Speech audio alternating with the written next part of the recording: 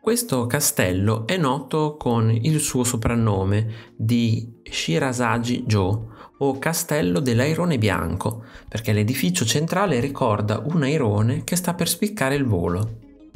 La maggior parte dell'edificio giunto fino a noi risale all'inizio del XVII secolo.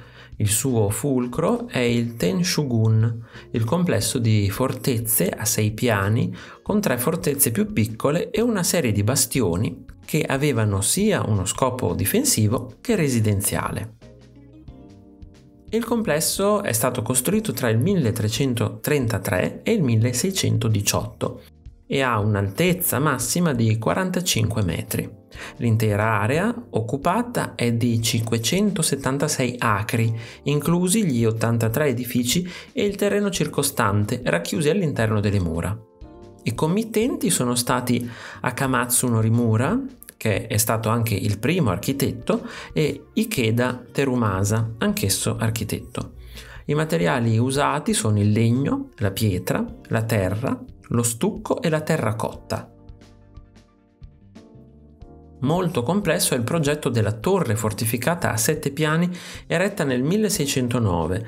La stanza che occupa il primo piano è nota come la stanza dei mille tappeti per via dei tatami in paglia che ne ricoprono il pavimento.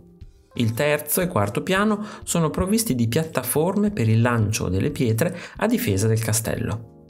L'Imeji-jo è l'emblema dei castelli giapponesi in legno e conserva intatte le sue caratteristiche. La struttura della torre principale è dotata di due pali da 26 metri che si assottigliano dalla loro base con circonferenza di 90 cm, squadrati rozzamente secondo il principio del wabi-sabi, la bellezza dell'imperfezione. Alcune curiosità. Il castello funzionò come centro feudale per oltre 5 secoli, fino al 1869, quando Tokugawa Yoshinobu rinunciò alla carica di shogun e consegnò i poteri all'imperatore Meiji. Il castello è stato risparmiato dalla guerra. L'unica battaglia che ha avuto luogo tra le sue mura è stata durante le riprese del film di James Bond Si vive solo due volte.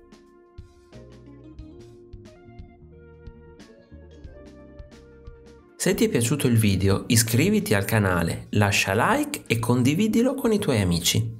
Ti invito anche a visitare il mio negozio. Un saluto e al prossimo video di Arte Esplorando.